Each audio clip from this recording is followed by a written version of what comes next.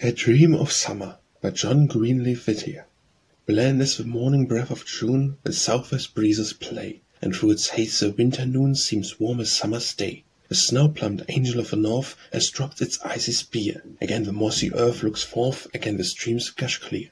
A fox his hillside cell forsakes, The muskrat laves his nook. The bluebird in the meadow brakes singing with the brook. Be up, O mother Nature! Cry, birds! breathe and streamlet free! Our winter voices prophecy of summer days to we. Sun those winters of a soul by bitter blasts and drear, Outswept from memory's frozen pole will sunny days appear. Reviring hope and fate, we show the soul its living powers, And how beneath the winter snow lie germs of summer flowers.